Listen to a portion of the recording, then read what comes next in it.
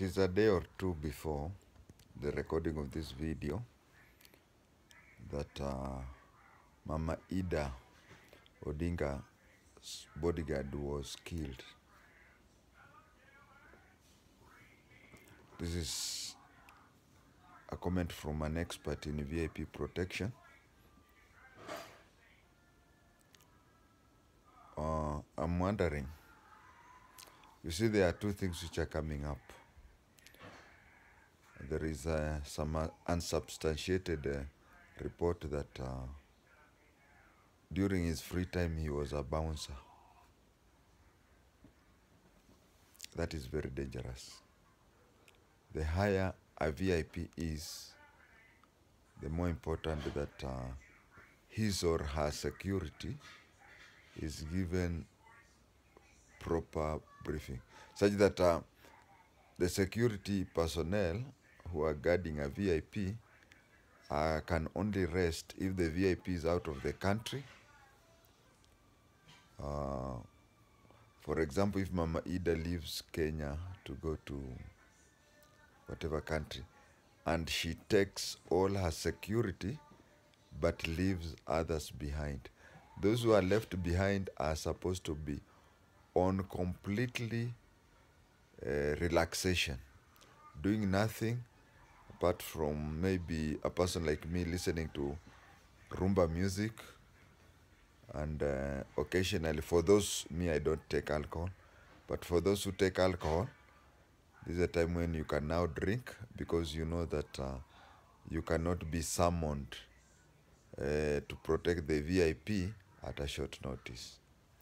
Understand that vip protection you are supposed to guard the vip any any time like maybe you have been guarding the vip for 14 hours you go to your house and then as you're taking the, your shower you are immediately called that uh, there is an emergency and you have to go back.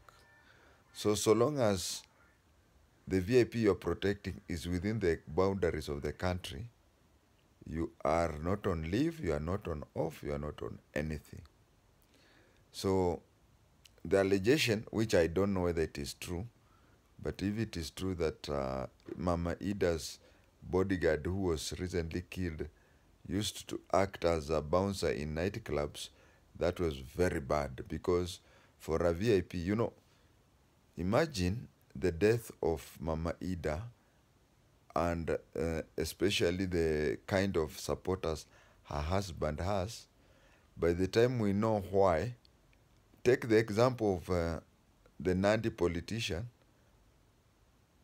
who who was killed by a Kisii policeman in Eldoret. Uh, by the time it was known that uh, it was a love triangle, something like that, already the tribal clashes had caused a lot of people death.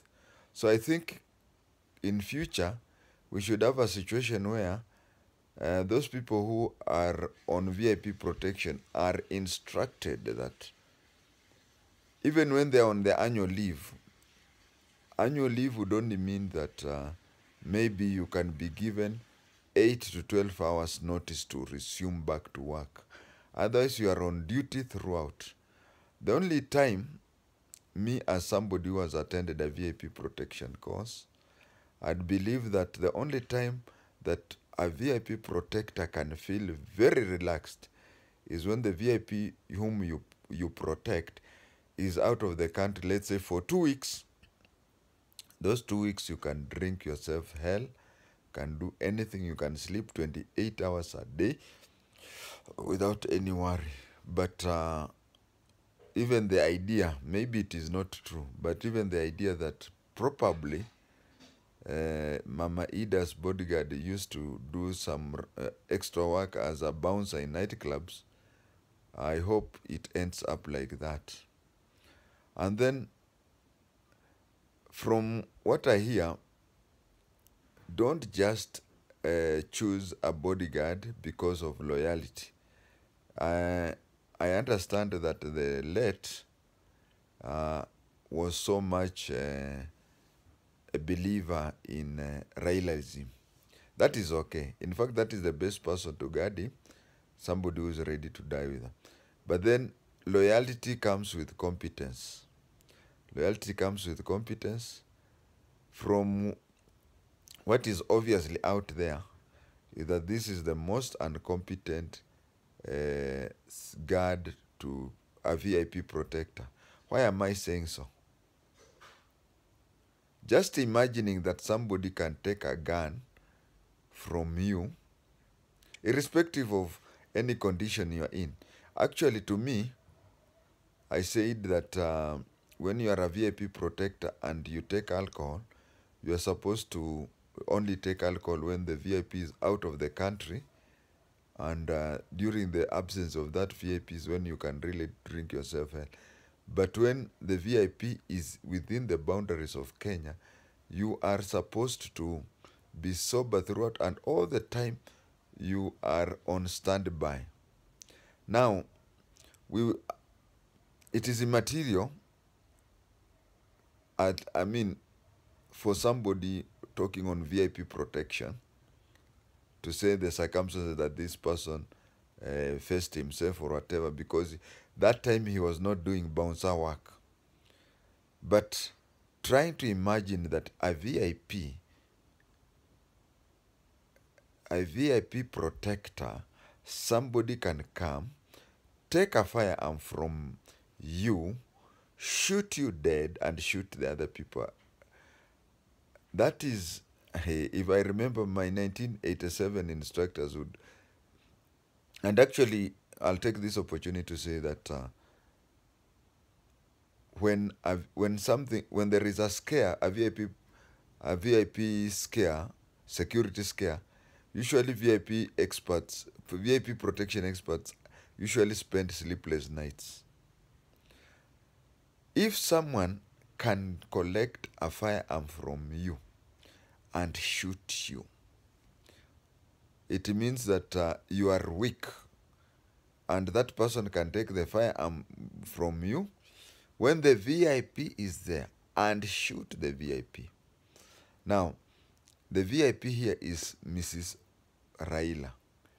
If Mrs. Raila was to die, by the time I remember 1994 February when Jaramogi died, uh, there is a certain part of Kenya where tension was so culpable that it took the family time to reassure Kenyans and Kenyans of a particular place that uh, Jaramogi died a natural death. Now imagine a situation where Mama Ida is around, somebody takes the gun from the bodyguard and shoots Mama, Mama Ida. Uh, before we come to find out the truth that uh, it was a normal uh, whatever, a lot of people would be hurt if not dead. So I believe that uh, this is a wake up call for VIP Protection Department. Yes, it is good to look for bodyguards, uh, VIP protectors who are loyal to the subject, but loyalty comes second. Competence is the password. I'd rather assigned an askari to protect a VIP who is more competent than loyal. Actually, loyalty sometimes it's uh, bad because uh, when it comes to work,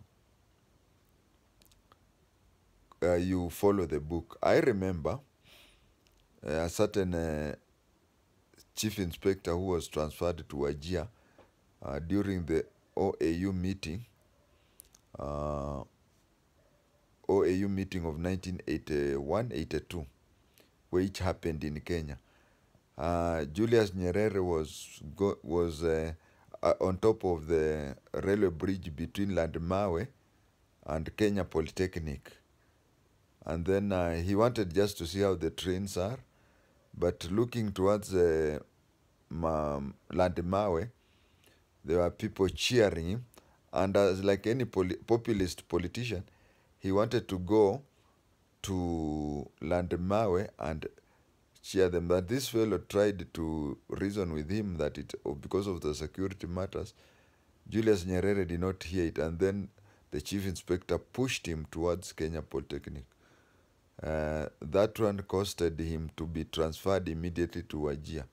So, VIP protection, uh, competence over, is the principal uh, point here, and uh, loyalty, or in this case, worshipping, comes as a subsidiary.